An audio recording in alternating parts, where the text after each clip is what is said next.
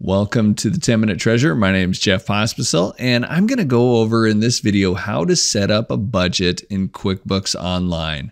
So it's pretty easy. There's a couple ways to do it. There's a manual way, and then there's a way that uses Excel. And no surprise, I like the way that uses Excel because it just, for me, it's just easier. So without any more uh, wasting time, let's go get to it. So here I am on my dashboard in QuickBooks. And by the way, I'm just gonna, uh, if yours doesn't look like mine, I usually use this accountant view. And this is where you switch. So it's that little gear right over here. And then this will say accountant view, switch to accountant view if you're in business view. That might be part of the difference. Uh, one of the things too is since we're talking about budgeting, what I want to start using is this cash flow uh, the, and the planner as well. And I'm going to make a video eventually on those. But right now, we are going to talk about budgeting. So, how do you get to budget? So, if you're in a similar view as mine, oops, mine is waiting. I have budget right here, or you could find it under this gear. So, under the gear, tools, budgeting. I think it'll get you to the same place. So, I'm just going to click on budgeting. So now that we're here, you can, by the way, watch this video. It's probably good. I'm kind of stubborn. I like to look at things in my own way. Uh, there's two ways to make a budget that I'm aware of. There's the one way that's all the way online, and then there's the way of to use Excel. And I am going to show you both ways real quick. So I'm going to go ahead and hit create budget. And there's two budget types. And this has me really curious because normally I'm used to this kind of budget, which is over the income and expenses. But this one, you could actually budget based on balance sheet and yeah, your balance sheet. So the assets, liabilities, and cash flow. So if I had certain targets for my cash, or maybe I was trying to pay down my debt, I wonder what that would look like. I'm going to experiment with that one day, but today is not the day choose the period. So we are a calendar year, fiscal year, and I want to do it for 2024. And do you want a consolidated budget or do you want to create individual budgets based on location, class, or customer? Um, and really, I don't have classes set up.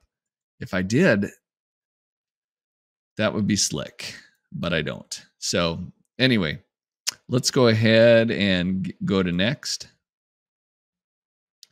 And here, one of the things that I really like is there's this toggle switch, compare reference data. And if you click that, it'll toggle off the prior year amounts. So here's my 2023 actual amounts. And if I hit it, it hides those. And again, they're going to want you to take the tour, um, they are, you can also choose what you want to use for reference data. Um, enable, uh, let's see, yearly. If I just wanted to put in the total amounts, that would be fine. So let's just say I wanted for individuals $4,000. Um, I could put that in there. What does that look like? Quarterly, it's actually going to split that up and even monthly, it's going to split that up automatically. By the way, so whenever you put in this annual column, which is this one right here, um, it'll split up into 12 different ones. So let's just say for connectional funding, I wanted to throw in $50,000. That'd be split up automatically. But if I knew, for example, here's my one of my committees. What if I knew my committee meets um, twice a year, once in April. I can just go ahead and plug that amount right in here. And I'm going to hide this comparative data because, by the way, the comparative data would help you know where to put that expense too. So you can see the seasonal um, aspect of it. And let's put in maybe they also meet in, in uh, September. And that total is automatically uploaded. So that is pretty slick. And let me think about this. So you could do this. You can go ahead and go through all these and punch them in like this. And it wouldn't be horrible, but it wouldn't be great either. So what I want to show you next, I'm going to go ahead and I'm going to, what does this do? Hide empty rows. So by the way, you could hide empty rows, uh, which might be helpful, especially if you have like non-budgeted items. But I'm going to go ahead and I'm going to cancel this. I'm not going to save it. Do you want to leave without saving? And I'm going to say, yes, I do want to leave without saving. So the way that I think is going to be even more helpful, at least for most of us, normally I do my budget in Excel already. Um, that that's where we kind of play around with the math, and it's easy to update. I don't have to go within and run a special report or anything. I can see everything right there. So normally what I do is I go to import budget. You don't have the option for the cash, uh, the balance sheet budget here. You do get to select your period. You can select if it's subdivided or not. If you've already got your budget onto our template, I don't have the template. So I'm going to go ahead and hit next. And here's where you can go ahead and download that template. And so I went ahead and I downloaded it. And I'm going to open it. All right. So here it did it does give you some instructions. So it's going to tell you how to use this template. It says do not change the names, do not change the rows, uh, leave it in everything. It says don't mess with it is basically what it's saying. Um, yeah, just don't mess with anything. And then there's this second sheet. So that was the guideline sheet. And then there's the consolidated sheet. And so then what I would do is I would go ahead and enter in all my monthly amounts that I want to put in. So I'm going to go ahead and pause this video and that then we'll get to the importing part. All right, I went ahead and completed this sheet. Um, what I did basically was I put the total amounts here for the annual amount, and then I just did uh, divide by 12.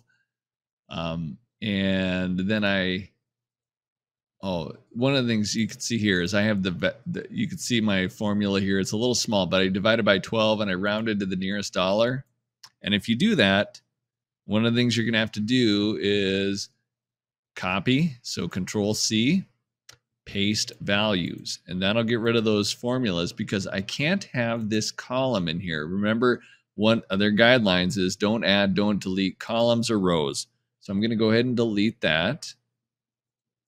And now this should be good to go to, uh, to upload. And I have it named PL budget sample one. That was the default one. And let me go ahead and upload my budget. So I clicked, oops. What I did is I clicked here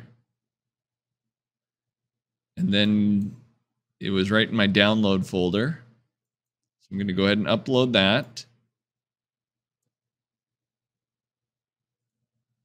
Okay, it already has it. So either you click the button or you click here and it'll ask you where it's at. So I'm going to hit next.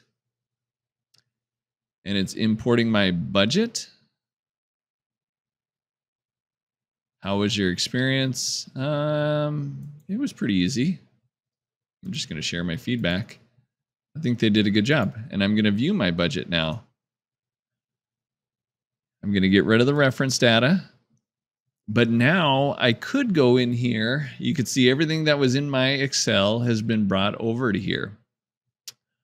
So everything's there. Everything looks good. Um, it'll tell me the total amount for expenses which actually agrees with my what was approved for my budget. It'll show me the total amount for income right up here, which is in agreement with also with my budget. And now if I wanted to change things, so for example, I have one for insurance. I know what days I pay my insurance. So if I wanted to expense my insurance on the date I'm paying it, I could go ahead and um, enter that. Other than that, I think this is good to go. And I can just go ahead and hit save and close. One of the things you could do too, by the way, is you could also make a copy of a budget. And a copy of a budget might be helpful, especially if you want to look at maybe projections. So that's where I would say the, the most thing. So let's just say you're about a halfway through the year and your budget that was approved, maybe it doesn't look anything like what you were expecting. So that is something you could also do is you could uh, make a copy of a budget and go ahead and do it that way. All right, so that is it. We have done it. Um, by the way, you can also make upload multiple versions. So if you wanted to, you can go ahead and save that uh, version that you just did. And I already have it saved. I could rename it, by the way. So this is my uh, official budget but I can go ahead and make a copy of a budget. So let's just say I wanted to um, import another budget, but this one's maybe more my projections. I'm going to go ahead and do next. I'm going to go ahead and upload my same actual budget. I'm going to go ahead and hit next. Keep both. So now it gave me a second one. So I'm going to go ahead and I'm going to change this one. So maybe this is my 2024 uh, projections. So I might use that one if I'm going through the year and all of a sudden I see, um, well, just as you get more information, we can go ahead and look and say, here's how we project we're going to finish. Because you don't want to overspend, you don't want to um, yeah, if you can spend more, that maybe you're bringing in more money, maybe you want to adjust your what you're going to spend. So anyway, I think that's an interesting way to do things. Um, maybe that cash flow planning will actually replace this. I'll have to find out later. So I'm going to go ahead and save that. I'm going to close it.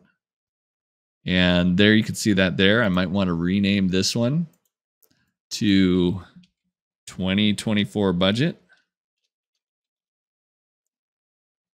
and save that and close it. And so now I have actually two budgets. And when I run a report, I could choose which budget I want based on do I want the actual budget or do I want to run it for projections?